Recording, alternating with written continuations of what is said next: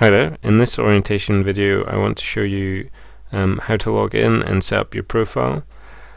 Um, to log in you should have received um, a username and password via email if you've registered for the course. If you haven't registered there's still time.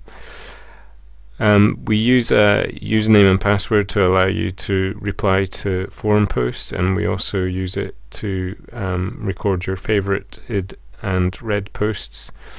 Um, the, the ocTEL website is open, so you don't need to log in um, to view material. Uh, it's only when you start interacting um, that you need um, a, a, username and password. So I'm going to log in. Every time you log in, you go to pro your profile page, and there's various options um, to see some of your forum activity and favorites. Um, on the right hand side we've got this quick jump menu so you can quickly go to the forums, uh, the course material, the course reader. To set up your profile there's uh, an edit button here so you can put in um, the details you want to include.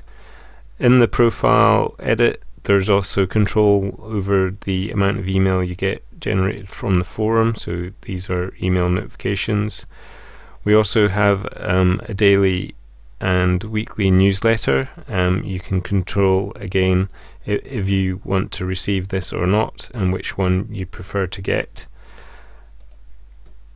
If you gave us your um, blog address uh, and would like us to include your content, your posts in our website, then your um, blog URL will be filled in for you.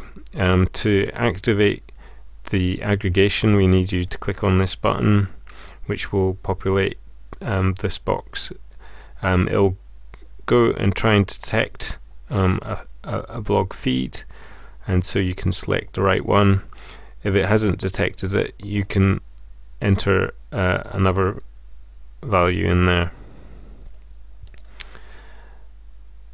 And one last thing is um, WordPress uses the Gravatar service for avatar images.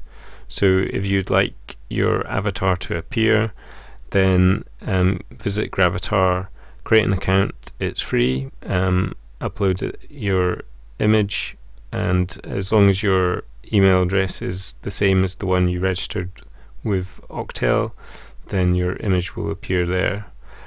If you want to find other people in the course, we have a participant list for you to browse. Um, you can see that um, some people have already got their um, Gravatar avatars there. Um, and so this gives you option of going in and viewing other people's profiles.